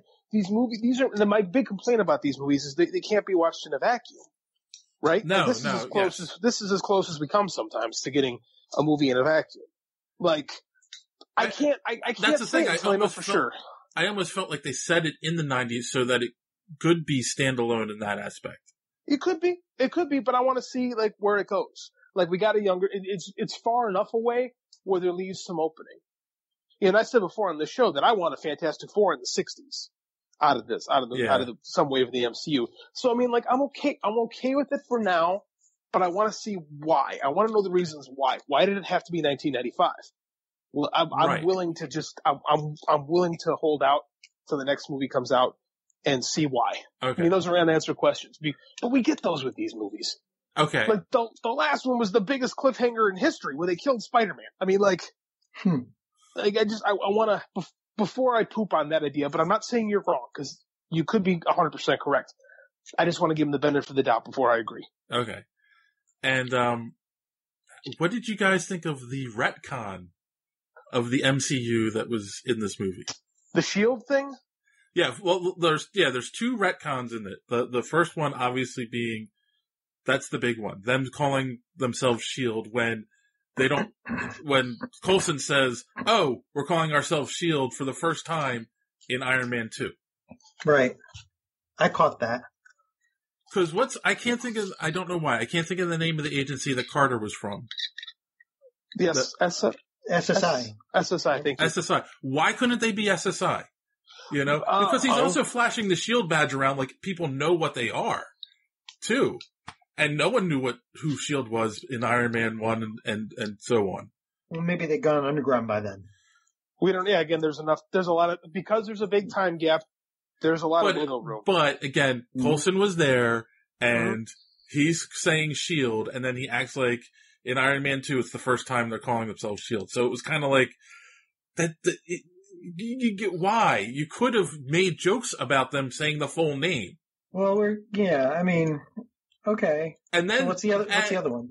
the other retcon is the other retcon, and, and I know people are going to argue with this, is the how um uh they end up with the cosmic cube. I'm sorry, the the, the tesseract.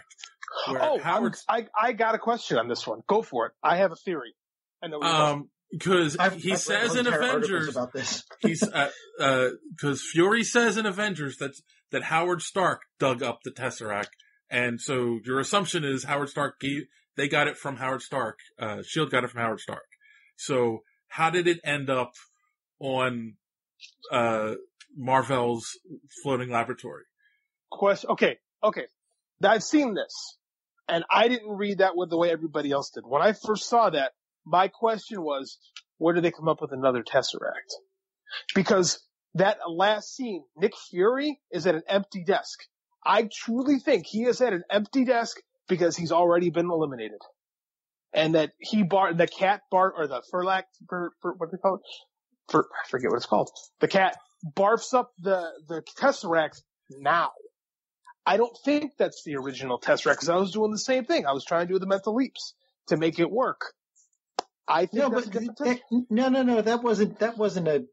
No, if you looked at the monitor, that was still. That was only a, like a, probably a few days later or something. Was it? I mean, like Yeah. until until I don't yeah, know. yes, yes. I no, thought I, that- my eyes went right to the monitor to check I, I and see what type too, it was. It is, it's a CTR monitor. It's not a flat panel monitor. CRT. CRT, sorry. um, yes, I, I thought that too, and it's like, no, that is, that's definitely a 90s office. Yeah. However, however- however, however, it. it's a different color monitor. He has a white monitor when he's sitting there typing. and in that after credit scene, it was a black monitor. So it could be later on at some point, but it's Now- still like late '90s, early 2000s. When they find the Tesseract, I believe is in Thor. They find the Tesseract the first time, and it's at Project Pegasus. Right. So I believe so. it could have been a simple fact of Howard Stark digs it up, and Mar-Vell gets it from there. From, Uh, because from Stark, yeah, or from something Stark. like There's holes in it. I'm still not entirely sold that it's the same Tesseract. Flerken. To be quite honest with you. Flerken, thank you. Mm. I'm not entirely until until proven wrong. I reserve the right to question the validity of that being the only Tesseract. Right. So, and, and, and this is, this is a discussion actually I would that. Oh, um, sorry, just just one thing. If that is a second Tesseract or the same one but from a different time, that could hint at some really gnarly um, storyline plot threads through Endgame. Could be because we talked about time travel. So when time We travel know it's going to be time travel, yeah. Right. So with time travel on the table, like I don't, I think continuity questions are kind of up in the air because I don't know. I mean, like it, it doesn't. It, there have been more than one So- cosmic cube. If it's so, the cosmic cube, hold on. is- Wait a minute. Oh shit. There's a there's a rumor that uh the, some of the plot le- uh, points were leaked for Endgame, and that when um Ant Man, uh Scott Lang comes out of the quantum realm, he ends he, while he's in the quantum realm, he ends up into a, a time I forget what they call it. Uh, let's say time vortex, but some and he ends up coming out of the quantum realm in the 80s. Hmm. Fun stuff. So could there be something where he runs into Shield and he says Shield, it's possible. which oh god. It's Anyway. Like it's possible. Like these guys, they don't make a lot of these mistakes, and because if it was, if it's like comics where different people are writing and retcons and stuff happen, I would just chalk it up to well, you know, shit happens. But I mean, Kevin Feige keeps a pretty tight lid on these things, and, uh, and if we know that time travel is on the table for the next one, using a cosmic cube would make sense in how they get how he gets back. right. And actually I was having a conversation with someone about this at work too. I believe originally that the uh the plan for the Tesseract when they introduced it in the first Avenger wasn't it was housing the Space Stone. I believe the original plan was that was going to be the Cosmic Cube. It is the cosmic cube. They just call it the Tesseract because it Mhm. sounds a lot cooler than cosmic cube. Okay, but the Cosmic Cube is holding the space the Space Stone, right? So Yes. it's like that's a weird thing that never happened in the comics. No, yeah. Hmm. Well, that's it. They do their, they kind of, like all comics. Like if you read comics from the '90s, they don't quite mesh up with what they are today. Like people were retcon. We're in a constant state of retcon. This is You true. know. This is So I- true. I, I'd like to, I'd like to not harp on the continuity things until the time travel movie is done. Until Endgame, right? I get Yes. it. At that point, if there's still big holes, I'll be the first to go. Yeah, they're wrong. Crucify them. Like, but until, until then, I'm gonna hold off on that. I'm still not sure when that cat barfs up that cosmic cube. Um. Oh, uh, we didn't talk about this, um, but at the at the very, very, very, very beginning of the movie, did you guys feel like you were kicked in the gut? The very, very beginning of the movie, like when When- you talk about how the movie starts. Yeah, with with the logo. And the- Oh yeah, the Oh, yeah. That was so awesome. I got teary eyed, and I Yes. didn't see it coming. Yeah, yeah. that Yeah. was awesome. My son looked over at me when he saw it. Yeah, because he's like, "Oh, my dad's gonna cry." I knew he was thinking that. How about the How about the actual cameo? Yeah, that was interesting. Um, I, I kind of wondered, um, why didn't they de-age him? I don't know. They did it for everyone else. Why? That's a good question. Probably because they didn't think to, or maybe they thought it was a little disrespectful because it's um I would go Uh, with that. Yeah. post ex post mortem. It's a little morbid way to say it, but I mean like maybe they felt like changing Stan's image after he's been after he died would be in, in poor taste. That's a good. Mhm. que- I, d- I would like to know. That's something I would love a good to, question. to to find out. Like, was he originally de-aged So he looked like Stan from the '90s, who uh, reading the Mallrat script, or um, was he uh, was he not never part of the plan? And uh, yeah, I mean, so officially Kevin Smith ev- exists in the MCU. Which is crazy because that movie is based on Stan Lee's writing of Marvel Comics. Yes. So it's a cute joke, but when you think about it, your brain kind of melts. Uh, yeah, yeah, no, that, that, uh, that was great, that, that cameo. Um, No, the, the the one one other thing I wanted to mention was uh, Agent Coulson being there. It it Marvel again always going just like a little bit extra, just putting a little bit of a, a- extra effort. And there's Coulson, and you get to see like how uh, Fury begins to really trust him when he lets him go in the stairwell. It's kind of a it's kind of a motif that appears to this movie is disobeying or the soldiers disobeying orders. Oh, and, and, and that's, yeah, yeah, it is. Yeah, I mean, because that was interesting too, because they do call him the new guy a couple times. Um, yep. In the film, um, but it's funny because so along those lines, uh, not really along those lines, something else. So one of my coworkers brought this up, and I I agree with this point as well. Um, like Marvel, okay, Yes. like if you're gonna if you're gonna change her sex why did you make her a waste of a character? In the sense of they they relegated Mar-Vell to just being a Kree scientist where Mar-Vell is the first character in marvel comics who ever defeated thanos and was you know like the greatest hmm. Kree warrior. So it was like well, different, different movie again. And she wasn't a waste because she's the one that set up this whole thing Well, no, to no, no. Because in the in the sense they kept by they act by by there being an accident that gives her powers, uh, gives Carol Danvers her powers. They kept in a way the the origin of Carol Danvers the same as the comics, but you know they changed. But like, why Mar-Vell wasn't a, a warrior it was like well, that just doesn't make sense, you know.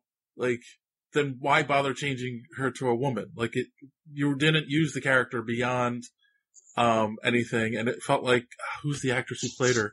Jeanette uh, Bening. Yeah, it almost mm. felt like well, we got Annette Bening, so let's just make this work. well, you do have to use your net bending really well while you've got her. Just- Counter counterpoint. It's it's not Mar-Vell's movie. Two, in the comics, Mar-Vell leaves the Kree, like the very first Captain Marvel books from the 60s, Mar-Vell leaves the Kree because he learns what they truly are. And yeah, it is more of a war thing, like he becomes a warrior, but, um, I don't know, it was more, I mean, other than, But why couldn't like why couldn't she still have been a warrior? Like why? You know what I'm saying? She was still a scientist who, um, I mean, she was still like yeah, she was just a scientist. I was going to say still working for the Kree, but she wasn't. She was secretly working on something to help the Skrulls, which we can get into all that. Uh, uh, Let's get- I could- that's a whole other that in a podcast. um, I don't know, like I'll write it off to we don't know what happened before. Maybe she was a warrior that just got tired of fighting. Like she said, she wants to end wars. People want to end wars that work um, for the system traditionally are people that are tired of fighting. Yeah. So, I mean, like, to be fair, I get where you're coming from on this, but it's not her movie. Yep. And I actually like it because there's a little bit of a fake out. We all, I think a lot of people assumed that Jude Law was going to be Mar-Vell, and it wasn't. It's kind of a surprise. I looked at my wife with jaw slacked when they revealed that. No, I went, what? No, because I think they did reveal um who Jude Law was before the movie came out, though. They probably did, but I mean, like, I just, I think a lot of people assumed he was going to be Mar-Vell. Yeah. And I think it was kind of cool. Wound up being the villain. What'd you guys think of the of the twist where the Skrulls aren't the bad guys? I don't know how I feel about that. I feel the, I feel the same way. I don't know how I feel Because- about it. Well, kn- knowing what we know about the Kree so far in this universe, it didn't really surprise me. Well, my wife said that too. My wife doesn't read comics, but she loves these movies. She's like the whole time she's like, "Aren't the Kree the bad guys?" And I'm like, Yeah. "Yeah, let's, let's see where it's going." Because I assumed we would get the Jan war where Rob, they're sorry. both bad. So Well, they if, you, yeah. if you've if you've watched Agents of Shield, then you you know that there damn well are the bad guys. Like they're just fucking But evil. Here's the thing, right? Like, there's been an assumption, and the other thing is we can't really can't go into Agents of Shield because um, they don't consider them part of the continuity anymore. But except, except that Agent Coulson was in this I show. know, I know, but but again, a lot of people they they argue that Coulson died in Avengers, so Joss Whedon swears by it. yeah. Um, so the show doesn't count. But, um, but there's also arguments that they only used the Kree because they couldn't use the Skrulls because they thought they were saving the Skrulls for a Fantastic Four movie. Because I don't know how the rights all were tied up with that. Um, I know Super-Skrull was definitely tied to Well, Fantastic, yeah. Fantastic Four. Yeah. It has to. Hmm.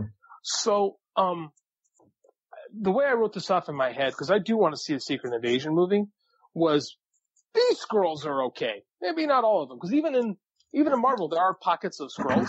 like spec- like Secret Invasion specifically, you had your Well, religious extremist sect of Skrulls.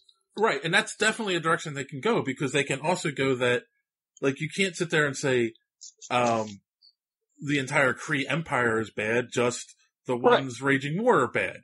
And Right. not all the Skrulls are good, but these refugees, uh, were good. You know, like, Yeah. you can definitely do that and, and get away with it. You can also say, and this might be why it was 25 years ago. Um, they built up an army and now they want to, and, and since, uh, Ronan was killed and the Kree Empire has been weakened because, uh, Captain Marvel went after the Supreme Intelligence, now they're building up their army and getting revenge for all the ways they were treated. Entirely possible. I do imagine that a Kree Skrull, a Kree Skrull war of some sort has raged on these past quarter century. Um, I just want to see a Invasion movie at some point. Yeah. That's just me. I like that story. See, and then that also comes into, because that's another rumor, is that Secret Invasion is where they were going, and Well, I, I think everybody thought that until we found out the Skrulls were the good guys. And remember when, uh, when Talos gets shot, I'm like, oh, the kid saw it. That's going to motivate him on Batman style to become a evil. Oh no, he lived. I was like, oh, I was wrong about that. Like, it's unfortunately sometimes us nerds try to try to see the the links between everything rather than like just letting yourself get like into the movie sometimes. right. This is very true.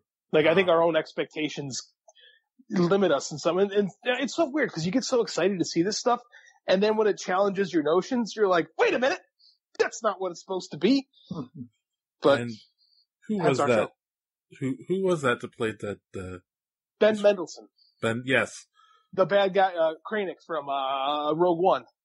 yes. I thought he was. Um, I I liked it. The, He's great. which is like I don't want to like him. I know. He's Uh, really good. Every Skrull comic I've ever read, it's like no, no, I'm not allowed to like him. So Like, uh, you know what's kind of cool too is I like that they kind of showed the original Skrulls, the Fantastic Four two, the cow, the, the cow Skrulls, if you will, like the the simpleton Skrull that she kind of fools when she's getting her mind read. uh huh. Like I Well, like tho- they you mean that. those those weird little littler Yes, ones? yes. Yeah, those that's the original Skrulls that show up in Fantastic Four too. Oh yeah. Yeah. So, So I thought that was I thought that was a nice little continuity thing, which made me think of uh, the Skrull hamburgers and Skrull killer crew. um, Any chance I can get to praise Grant Morrison? all right, all right. So, so, so I think, you know, like we're we're all saying, go see the movie. Um, it's not. I don't think it's a perfect movie. It's a it's a it's a movie worth going to see, but it's not a perfect movie. Um, but uh, I think we could wrap it up because we don't want to be a dead horse, and this is already an hour and a half into the show. So let's uh, wrap it up like we always do. Go around final thoughts and give it a score, one out of ten. Um, uh, and we can start with JD. So I'm not going to rate this one. I talked to my wife knowing this question was coming, and she was she really loved this movie. So uh, I I said to her, I said, Michelle, rate this movie for me, and she said nine, nine stars. So I'm not going to give any of my smart ass normal answers. This movie connected for her because she loves superhero stories and didn't have any when she was growing up, and for uh, a woman in her 30s to to to feel this way about a character is beyond me at that point. So for my wife, eight star or nine stars. Okay. Hmm. John. Well, I, I see. I got the same feeling with this movie that I got with um, Black Panther, where it was just. Although I think it, I, I feel like this one's better than Black Panther because Black Panther felt like it was. It, it was just. Yeah, I, I, I, actually disagree with that too. I, I don't. I don't know. For, no, just hear me out. Maybe you can tell me how I'm wrong. But but no, the thing the thing is, it just Black Panther felt like you know the story was just so smooth and and just you know it, it was kind of formulaic and all that. But it, but I mean the, everything everything was great. You know, this one felt more organic. You know. Uh, I mean, it's it's it's my it's the only way I can really like articulate it right now is that this one felt more organic to me and more real. Uh, it, was a way of saying it than Black Panther did. Um, so you know, I like I I invested more in the characters. I I um I enjoyed seeing the banter. I you know the jokes landed with me.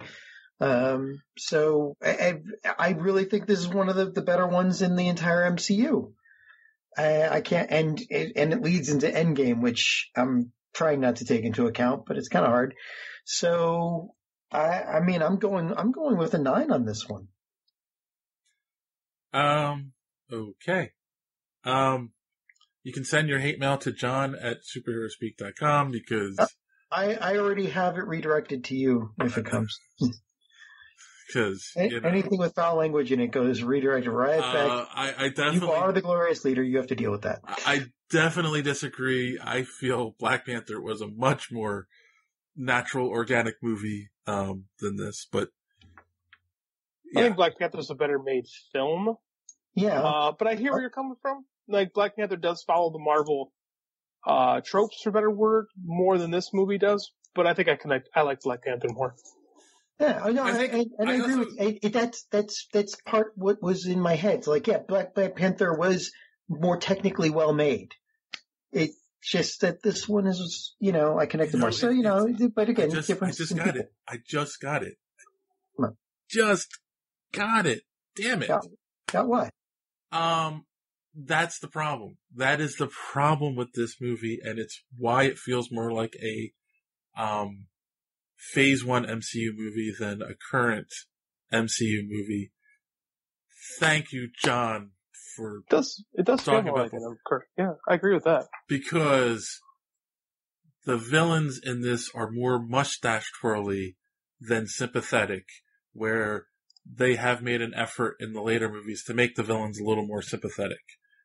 That's only recently though. Only like the past four or five movies have been really doing pulling that off. Yeah, he's right. You're right. Well, phase three. That's that's really when they started doing it, I think. Hmm. So so yeah. Uh, thank you, John. Thank you for See, for that. But they, but they, they, they weren't inconsequential. You know, it's not, it's not like you could have replaced the, the bad guys in this, like that, that AI and the, the artificial intelligence and what's his name, um, the, the, you know, the one who wanted her to fight with bare fists, even though she could just make him into a grease smudge. I love that Um, scene. I know, me too. But but the thing, you know, Well, that- it, that- that it wasn't like it wasn't like it wasn't like whatever the name of was of the dark elf in in Thor: The Dark World. I mean, you know, you could have replaced that guy with with Well, that's the thing. You basically a box of baking right. soda. It You would have been the same. But as I'm saying, like you can't sympathize with that villain. You can't sympathize with these villains because they're Well, just shown. What? You kind of can. I mean, not sympathize, but you can understand that their motivations. Their And they say- motivations are they want to take over the universe and they're twirling their mustaches while they're doing and they and they no, and they found a weapon, and instead of destroying it, they were giving it a go But of trying to but that's what I'm form saying, her there's into their- nothing- their- No, no. What makes but what makes it different though is we don't really like the story. I should say we don't know. The story doesn't present them as the villains until the last third of the film. So I think that's what you're right. You're totally right. There's nothing sympathetic about these Kree at all. But Mhm. what makes this work a little bit differently is we're not really And their motivation really is just know. to be evil. Like there's no, Uh, no, No, it's not. It's it's to continue their foreign policy, which is to rule over everything, which I'm told is a wonderful thing. They were empire building, basically. I mean, isn't imperialism what we're all about? Like, don't we love that? Oh my god. so, JD at superherospeak.com. No, I, I, I agree with you, JD. I mean, I mean, uh, I, yeah, yeah, it's, they, you could, even if you didn't, you couldn't sympathize with them, you could understand the direction they were trying to go in. And they're wrong and they're evil, but what makes them different is they're not, the story doesn't say, doesn't tell you that these are the bad guys, which is important. Like, that's important in the story is to establish, you know, what stakes are and who the rivals are. And when you throw a, a curveball like that, it worked, it's an effective curveball. I think that's what makes it a little bit different. And it does make up for the fact that the villains, they ain't no Killmonger. Ron, Yon-Rogg is not a Killmonger, you know? Mm, No, that, that's a brilliant, um, bad guy, definitely. Yeah. so anyway, I will give it, I'm going to say seven and a half capes. And again, it's not like I have nothing against Brie Larson. I have nothing against the character. I just feel like this, I didn't think the story was good enough to introduce her. You know, at this point, the MC, they have raised the stakes over and over again with these movies, and I just don't think they did it with this one. But I think seven and a half is a fair score for how you feel about the film. Yeah. yes, More I, than fair. I am trying to be as fair as possible to this movie. So, No argument. yeah. So that being said, thanks for listening. And as always, don't let your cape get caught in the door. Have a good week. Yeah. I just felt like it, sh- if there, to me, there was minor tweaks they could have made that would have made this movie 10 times better. Again, I think if it was a decade later and there was a little less Fury being comedy relief at times, I think it would have been a better movie. I would have kept most of it the same. That's cool. And a little more connective tissue with her parents and her flashbacks and to her standing up to intelligence because they did, they brush over that all from the comics. They, that's, that's hinting at her relationship with her father from the comics, which is her key motivator for her becoming, uh, Miss Marvel. And it's just like, well, why she joins the Air Force and everything. So it's like, they could have brought that in more. And then so her standing up to the, uh, intelligence would have been a much more powerful scene. So yeah. Damn it. I said that after we were done.